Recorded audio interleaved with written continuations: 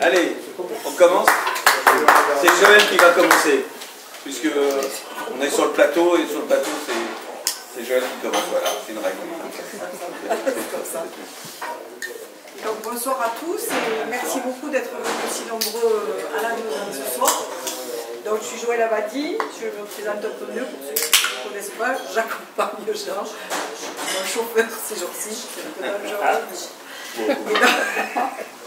Donc euh, j'ai le plaisir euh, d'être avec lui sur cette euh, campagne des législatives de 2017 et je prends ça comme la reconnaissance d'un travail fait sur le territoire grâce notamment à Henri Ford qui a présidé notre communauté de communes et qui maintenant qui a la fusion avec la grande communauté de communes comme on l'appelle continue à travailler avec nous et avec tous les autres élus du, plateau, puisque c'est la grande communauté du plateau de la Meudon.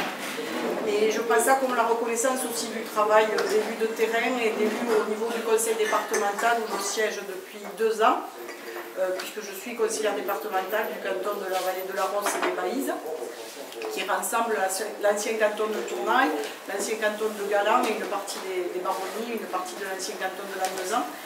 Et euh, au cours notamment de, cet exercice-là, euh, j'ai pu euh, prendre connaissance, vraiment entrer dans le vif du sujet, ce que je peux appeler maintenant les compétences de, Jean Gavanier. dans compétences, il n'y a pas que le fait d'être élu du département et député, il y a aussi toute l'écoute qu'il a, notamment au niveau du, département, de toutes les problématiques locales qu'il peut y avoir, parce qu'au-delà du, travail du député qui, les lois, comme on dit communément. Il y a aussi tout le soutien qu'il apporte euh, au département. Et j'en suis un des témoins privilégiés, puisqu'en étant au département, on est plus, euh, plus sensibilisé aux grands problèmes qui, nous touchent, ce département. ça peut être euh, le haut débit, vous en avez tous entendu parler, ça peut être aussi le, nouveau groupement hospitalier de territoire qui, qui agite un petit peu les, patients au niveau des, cinq hôpitaux concernés. Ben voilà, tout ça, j'ai pu le, vivre en direct sur ces deux ans. Et donc j'ai été très flattée quand il m'a proposé de, l'accompagner. Et je veux dire que toute son expérience doit vraiment être mise en avant toute cette expérience de parlementaire, d'homme de terrain à la fois, on en parlera peut-être, et aussi de, de personnes qui a tout un réseau de connaissances pas un réseau euh, uniquement que de connaissance des personnes, mais aussi de tous les rouages euh, du fonctionnement parisien, entre guillemets, qui fait qu'il est très souvent sollicité. Alors, par les élus, hein, euh, maires ou autres, pour des, problèmes sur les communes ou sur les, intercommunalités, mais aussi par les élus départementaux, et notamment Michel Pellieu, qui nous, depuis deux ans, alors on le faisait sûrement avant aussi, mais moi j'observe depuis deux ans, c'est nous faire travailler tous ensemble sans euh, perdre notre âme et sans faire fi de nos, convictions politiques, mais il, sait nous faire travailler tous ensemble pour le bien du, département. Et euh, Jacques Lavani est un excellent partenaire pour lui parce qu'il le sollicite très souvent euh, dès qu'il y a un, passage un peu compliqué à, passer. Et il, Jean répond toujours présent, il répond toujours très vite et il sait comme ça aussi assurer la cohésion de ce département. C'est pour ça qu'il me semble que notre circonscription doit continuer à, le soutenir. Alors, les élus notamment, mais ça je ne me fais pas trop de soucis parce qu'ils savent tous tout ce qu'il apporte et qu'il a apporté et qu'il continuera d'apporter, mais aussi tous les citoyens, puisqu'il faut vraiment qu'il ait ce soutien sans faille dans la mesure où on parle d'une vague tous les jours. Alors la vague, on a l'impression que parfois elle, s'essouffle un petit peu et puis il y a des regains. Et nous, on a envie vraiment que euh, la vague de Jean Lavani, de son expérience, soit plus forte que tout ça, parce que son expérience et ses compétences, me semble-t-il, valent mieux que tout ça. Voilà.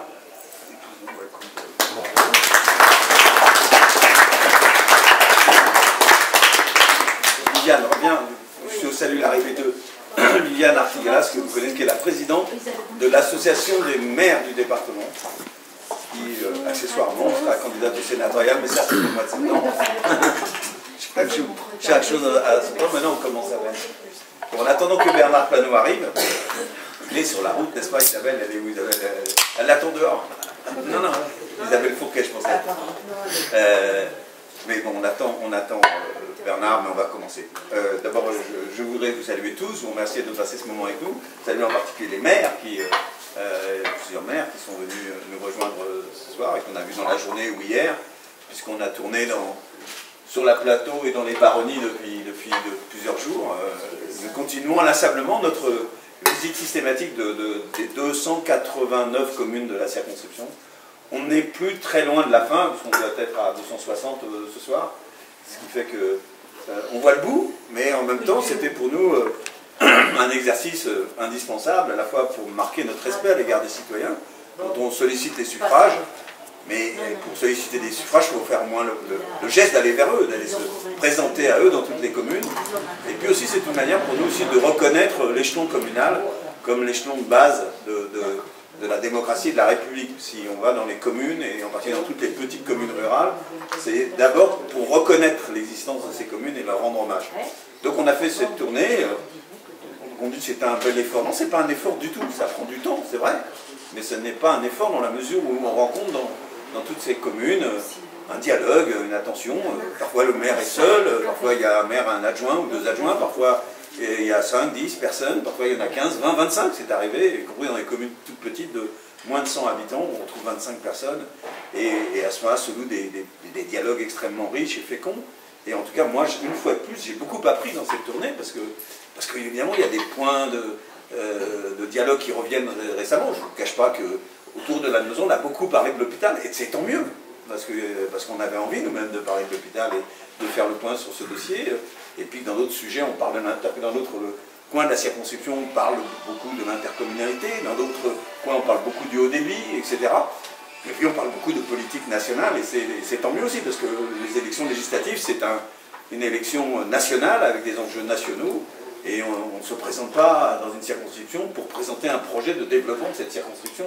Ça, c'est la tâche des élus locaux, des maires, des présidents de communautés de communes, des conseillers départementaux, mais pas le rôle du député. Le rôle du député, c'est d'accompagner les, élus locaux, de les aider, de leur donner un soutien, euh, des conseils éventuellement, mais pas de faire un projet de, territoire sur la circonscription. Euh, ça n'est pas le, sujet de l'élection. Bon, comment vous parler de politique nationale, puisque c'est l'enjeu que je viens d'en parler? Eh bien, en vous disant que, après l'élection présidentielle qui a évidemment entraîné cette décomposition de la vie politique française que vous avez tous connue, c'est-à-dire, au fond, ces deux grands partis de droite et de gauche qui alternaient au pouvoir depuis 40 ans, euh, alternance après alternance, euh, et, qui étaient des grands partis de gouvernement, qui plus est, qui avaient fait des primaires pour s'assurer de leur présence au deuxième tour à gauche et à droite, eh bien, ont échoué, ont éclaté, ont explosé doute plus encore le Parti Socialiste que le Parti de droite, mais euh, ils n'ont pas été présents au deuxième tour. Et on a eu ce deuxième tour entre Mme Le Pen, qui n'était pas totalement inattendu, puisqu'on le prouvait depuis longtemps, puisque son père avait déjà été présent à un deuxième tour il y a 15 ans, et Emmanuel Macron, qui lui, alors lui, était inattendu au moins euh, il y a un an ou deux, même si c'était plus attendu depuis six mois. Et donc on a maintenant ce jeune euh, président de la République, pour lequel j'ai voté, j'ai fait campagne en tout cas avec beaucoup d'acharnement au deuxième tour contre Madame Le Pen, je crois l'immense majorité d'entre nous allons tous voté, parce que le danger de Madame Le Pen était beaucoup trop grand pour qu'on joue avec le feu. Et, euh, une fois qu'il est élu, maintenant, euh, on a un quinquennat devant nous. Et qu'est-ce qu'on peut attendre de ce quinquennat? Moi, je dis les choses très clairement, parce qu'il faut se situer. Bien, on dit on est dans l'opposition à Macron et on se met dans l'opposition, voire dans l'opposition systématique, ou bien on se met dans une opposition, euh, j'allais dire perverse, où on attend qu'il se casse la gueule pour ramasser les miettes, euh, et en disant on en tirera un, bénéfice de son échec, mais on souhaite qu'il réussisse, non pas pour lui, je dis souvent en présentant, ça fait sourire euh, Henri Forgue, fond, ce garçon à 39 ans, il a déjà soutenu, il a déjà tellement réussi de choses qu'il n'en est pas une réussite près, mais parce que si son quinquennat est réussi, ça sera la France qui va réussir. Et donc il faut souhaiter pour la France que ce quinquennat soit un quinquennat utile et que ce soit un quinquennat réussi. Il y a de trop grands risques qui pèsent sur la France, je pense en partie au terrorisme, dont vous voyez bien qu'à tout moment il peut frapper la France ou des pays voisins, et que les efforts qui ont été faits ces cinq dernières années, c'est un des sujets sur lesquels je suis le plus, pas indulgent, même élogieux sur le quinquennat de Hollande, qui ne mérite pas que des éloges, qui a beaucoup déçu, moi comme vous, mais sur la manière de traiter le terrorisme, de construire le système de renseignement, d'embaucher des policiers, des gendarmes, quand Sarkozy avait tout détruit, euh, supprimé des postes de gendarmes, de police, supprimé le renseignement, désorganisé tout ça, là il y a eu un quinquennat qui a lancé un effort en matière de lutte contre le terrorisme qu'il faut poursuivre absolument. Et, donc, euh, si on ne poursuit pas cet effort et si Macron ne réussit pas son quinquennat en matière de lutte contre le terrorisme, la France en paiera un prix beaucoup trop lourd. Et l'autre risque, l'autre grand risque, c'est le risque social. Si, dans les cinq ans qui viennent, le chômage de masse pèse dans toutes les familles, dans tous les milieux, dans toutes les communes, si ce chômage de masse ne régresse pas singulièrement, spectaculairement, ben, la France connaîtra aussi une explosion sociale d'une manière ou d'une autre. On l'a vu, ces cris de colère et même parfois de révolte qui se sont exprimés dans l'élection présidentielle. À ne prendre que ces deux risques-là, il y en a d'autres. Si on ne réoriente pas l'Europe et pour réorienter l'Europe, il fallait un président européen, c'est un président qui s'inscrit dans, dans un projet européen. C'est le candidat qui, de ce point de vue-là, avait le projet le plus européen qui soit. pour quelqu'un de très européen comme moi, c'était quelque chose qui comptait, parce qu'il ne faut pas jeter l'Europe avec, euh, comme un bébé avec l'eau du bain. L'Europe nous a amené la paix, nous a amené la démocratie, nous a amené les droits de l'homme, et nous a amené aussi euh, un modèle social qui certes est imparfait, mais qui n'a pas de son pareil à travers le monde. Mais en même temps, ce président qui s'engage pour l'Europe, il est aussi conscient que l'Europe ne peut plus continuer comme ça, qu'elle a besoin d'une réorientation très forte. Mais ça n'est possible, cette réorientation, une orientation vers le social, vers le démocratique, vers le politique, et non pas vers la norme bureaucratique, ça n'était possible qu'avec un président pro-européen, avec un président qui aurait voulu quitter l'Europe ou engueuler tout le monde, il n'y avait pas de réorientation possible. Mais si ce risque-là n'est pas traité, c'est-à-dire si l'Europe n'est pas réorientée dans les cinq ans qui viennent, là aussi la France court le plus grand risque. Et ce qu'on a vécu là, ce qu'ont vécu les Anglais avec le Brexit, avec un référendum, je vous assure que si aujourd'hui on faisait ce référendum dans 10 ou 20 pays européens, on, risque d'avoir 10 ou 20 fois le même résultat qu'en Grande-Bretagne. Donc il faut reprovoquer de l'adhésion des peuples à l'Europe. Et je crois que Emmanuel Macron en est capable, en tout cas il n'a pas le choix, il faut qu'il reprovoque cette adhésion à l'Europe du côté du peuple français. Donc c'est un troisième risque. Et si on ne traite pas ces risques, le risque du terrorisme, le risque social, le risque européen, eh bien on aura le quatrième risque, c'est-à-dire euh, le Front National. Car euh, ne nous y trompons pas, Madame Le Pen, elle a pris une raclée au deuxième tour. Mais enfin, elle a fait 11 millions de voix. 11 millions de voix, c'est le double de ce qu'avait fait son père euh, il y a 15 ans. Ça veut dire que le flot monte, et dans les communes, on était même dans des communes cet après-midi, euh, y compris pas loin d'Almezan, où elle était majoritaire.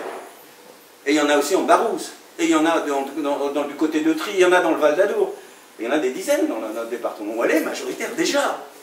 Certes, c'est des toutes petites communes la, plupart du temps, mais ça veut dire que le flot monte.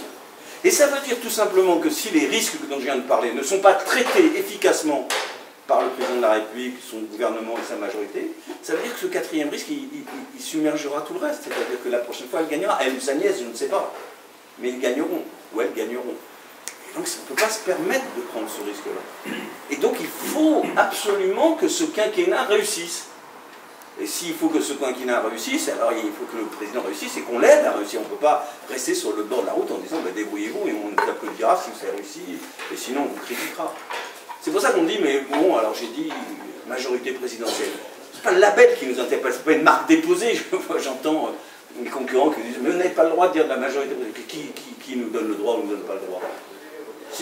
Moi, je vous interpelle, vous citoyens. Si vous dites que vous êtes, que vous avez voté Macron, que vous avez appelé à voter Macron, que vous êtes réjoui de l'élection de Macron et que vous souhaitez qu'il réussisse et que vous vous disposez à l'aider, si ça ne suffit pas à, définir l'appartenance à la majorité présidentielle, ça alors on n'a pas le label d'En Marche. Eh ben non, on n'a pas le label d'En Marche. Pourquoi on n'a pas le label d'En Marche? Parce que pour avoir le label du parti En Marche, il fallait qu'on mette nos convictions dans notre poche. Et aussi bien ma collègue Janine Dubier, dans l'autre circonscription que connaît Viviane, moi, il fallait qu'on oublie de dire qu'on était, moi, socialiste et elle radicale. Vous connaissez Janine Dubier, ou ceux qui la connaissent, vous imaginez comme elle a réagi. Moi, je suis né radical, je mourrai radical, mais jamais je n'oublierai mon étiquette radicale. Et moi j'ai dit aux gens d'En Marche, si. Moi Jean Glavani, le dimanche Macron est élu, et le lundi matin je change mon maillot, et je prends un maillot d'un autre club, celui d'En Marche, mais tout le monde va dire quoi? Glavani c'est un opportuniste qui change de maillot et d'étiquette pour, euh, pour euh, faciliter son élection, donc c'est pas possible. Comment? Oui mais moi je ne... Je salue Bernard qui arrive euh, au moment où on l'attendait. On va, lui donner... Salut Bernard. s'asseoir. C'est ça, c'est fini.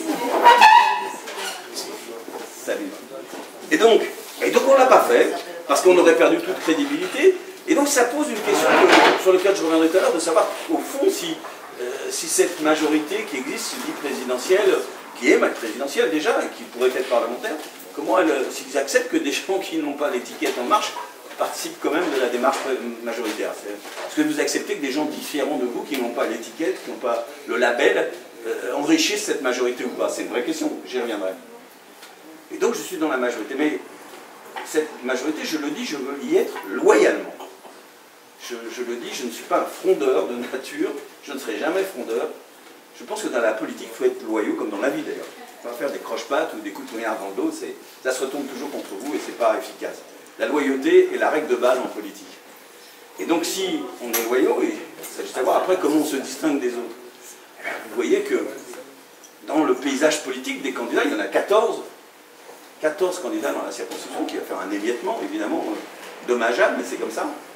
Il y a des gens qui se situent résolument des deux côtés, à droite comme à gauche, à l'extrême droite comme à l'extrême gauche, en disant nous, nous sommes des opposants de, Macron et on s'opposera. Voire même on s'opposera systématiquement. Je pense que ces gens, à la fois, n'ont pas entendu le message du peuple français qui dit euh, faut que ça marche. Débrouillez-vous, dépassez vos bisbis, vos, vos oppositions, vos divisions, entendez-vous, il faut que ça marche. Et en plus, il sous-estime les risques qui pèsent sur la France. C'est-à-dire qu'il spécule sur euh, un accident qui peut avoir de très grandes euh, conséquences. Donc moi, je ne suis pas dans l'opposition. Mais il y en a euh, hein, dans, le paysage des 14 candidats dans la circonscription qui sont voilà, qui s'inscrivent dans l'opposition et, décident de, s'opposer. Et puis il y a un autre candidat qui est dans la majorité présidentielle et qui lui a le label. C'est un homme de droite avec qui je me suis très bien entendu, les maires de Bagnères, nous connaissons tous, Viviane comme présidente de l'association des maires, Bernard comme maire d'une ville voisine importante. Moi j'ai travaillé comme député de Bagnères avec lui pendant 5 ans, je me suis très bien entendu avec lui, c'est un homme cordial, et, il le reconnaissait, il m'a dit publiquement que j'étais un bon député de Bagnères. Bah, je lui ai dit, bah, alors garde-le. Mais bon, mais, euh, c'est un homme de droite, et d'ailleurs il était le délégué de Juppé à la primaire de la droite, pas de la primaire de la gauche, c'était maire de la droite ce qui était bien son droit, ce qui n'est pas du tout une honte. Euh, et maintenant, il est tellement un droite qu'il est le candidat de la droite, puisque la droite n'a pas mis d'autres candidats que lui à l'élection. C'est le candidat de la droite. Et moi, je suis candidat de la gauche, ou en tout cas pour l'instant d'une partie de la gauche, en attendant, peut-être, j'espère, au deuxième tour, d'être candidat de toute la gauche. Et, ça me prouve bien qu'il y a toujours, derrière le fait que on soutient un président de la République pour l'aider, et non pas on est en opposition, ben, il y a deux manières de l'aider une manière de droite et une manière de gauche. au gouvernement, Macron avait promis qu'il y aurait des hommes et des femmes de droite et des hommes et des femmes de gauche. il y a des hommes et des femmes de droite et des hommes et des femmes de gauche. Il a tenu son engagement. Il y a un Premier ministre qui s'est affiché en disant, il est arrivé à dire, je suis un homme de droite, il l'a clairement dit. Et puis il y a des ministres qui sont des ministres socialistes de toujours, comme Jean-Yves Le Drian, Gérard Collomb et d'autres, qui sont des ministres socialistes, qui sont des amis en plus et dans qui je me reconnais. Eh bien, au Parlement, ça doit être la même chose il y aura des, parlementaires de droite et des parlementaires de gauche dans la majorité qui, soutiendront, qui soutiendra euh, Emmanuel Macron. Vous avez deviné que je veux m'inscrire comme parlementaire de gauche dans cette majorité. Comme mon concurrent de Bagnères a le droit d'être candidat de la droite pour participer à cette majorité. Et c'est aux électeurs de voir si ils veulent plutôt aider peser à droite ou peser à gauche dans cette majorité. Moi, mon conviction, c'est que dans l'état actuel de la gauche, on va mieux muscler la gauche. Quoi. Si on veut que l'on marche sur ses deux jambes, donc cette majorité marche sur ses deux jambes, il ne faut pas qu'elle boite. Et si elle ne veut pas qu'elle boite, il faudrait peut-être muscler un peu la jambe gauche. Un peu beaucoup même. Donc, je, m'inscris pour faire partie de cette majorité en musclant la gauche et pour peser à gauche. Mais c'est peut-être pas la seule différence qu'il y a entre nous. C'est aussi une certaine conception de la démocratie qui est en, cause. J'ai entendu mon concurrent dire euh, Moi, je voterai tout ce que, votera, tout ce que proposera Macron. Ah, ça veut dire qu'au fond, il y a un côté euh, mauvaise langue qui est à côté de moi, dit un béni oui oui. En tout cas, le doigt sur la couture du pantalon, le, parti Godillot que De Gaulle avait mis en place dans les années 50 en disant, quand il a créé la Ve République, je veux, un parti qui m'obéisse. Je pense que la, démocratie française n'a pas besoin d'un parti Godillot de béni oui oui et de gens sur la couture, la doigt sur la couture du pantalon. Je pense que la démocratie elle a besoin de pluralisme, de diversité, de débats loyaux, loyaux, constructifs, de conseils, Mais je pense qu'on a besoin, on aura besoin dans cette majorité des gens qui disent attention, attention là, il y a un danger, attention, ne faites pas comme ça, attention, on a déjà essayé des choses comme ça, des gens d'expérience qui pourront dire attention, euh, la loi travail, on l'a déjà réformée, on avait avec quelle difficulté, avec quel danger, avec quel risque. Attention, euh, les ordonnances, moi j'en ai déjà voté dans ma vie, mais c'est encore plus brutal que le 49.3 et on a vu ce que ça donné le 43. Attention Et je pense que si on est des bénis oui oui, le doigt sur la couture du pantalon et qu'on dit euh, tout ce que veut Macron, je le voterai, on n'est pas dans son rôle de parlementaire, on n'est pas dans la démocratie euh, parlementaire telle que je la conçois. Donc c'est aussi cette conception de la démocratie qui est en cause. Voilà, j'essaie de dire comment, dans cette circonscription, on, on, essaie de faire passer ce message. Je voudrais vous dire ici euh, quel point c'est un bonheur de, faire campagne avec Joël. D'ailleurs, je dis de plus en plus, je suis le chauffeur de Joël Abadi, je suis le monsieur qui accompagne Joël Abadi dans cette campagne, parce qu'elle est connue et respectée partout.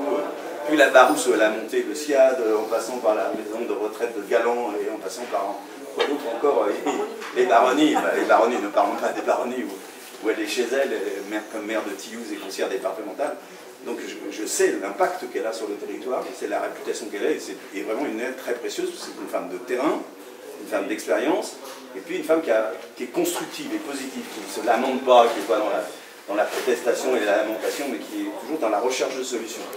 Et donc euh, c'était un plaisir de faire campagne avec elle, mais en même temps on sait bien que, compte tenu de, de ce chamboule-tout qui a été la campagne présidentielle, l'expression de Fabius, quand euh, il est président du Conseil constitutionnel, il a proclamé les résultats, ce chamboule-tout fait qu'il y a beaucoup de confusion encore dans les esprits. Et donc, euh, cette confusion dans l'esprit, il nous appartient encore de, l'éclaircir dans les jours qui viennent, parce que hein, parce que c'est au premier tour que se jouent beaucoup de choses. Le premier tour, c'est dans 4 jours, donc il faut continuer à, cravacher. On va le faire jusqu'à épuisement euh, samedi. On a encore droit de faire campagne samedi, contrairement à, ce que racontent certains. On n'a pas le droit de dire des, choses polémiques, nouvelles, qui n'auraient pas le temps de, provoquer une réponse. On n'a pas le droit de faire des actes de, euh, distribution de drague. Mais on peut aller saluer des maires dans leur mairie, on peut aller marcher sur un marché et faire des choses. On le fera jusqu'à la fin. Parce que cette élection est difficile, va être difficile. Que, euh, au fond, la vague que vous entendez, dont on nous rabat les oreilles, tous les jours dans les médias, bah, elle existe de toute façon, elle existe, mais bon, nous sommes là en situation de résistance à la vague, pas pour résister à la vague, mais pour faire valoir nos idées. Nos idées sont toujours les mêmes, nos convictions n'ont pas changé, quel que soit le président de la République. Euh, nous sommes des hommes et des femmes de gauche qui défendons un certain humanisme, qui défendons la République laïque, qui défendons l'idéal socialiste qui est aussi social-démocrate, qui est cette vieille alliance née il y a plus d'un siècle entre la défense des libertés et la lutte contre les inégalités pour la justice sociale, cet idéal-là, il est plus moderne que jamais, il est toujours d'actualité pour la société française, et c'est cet idéal que nous voulons porter et que nous porterons jusqu'au bout. Avec votre aide, ça sera encore mieux. Merci d'avance.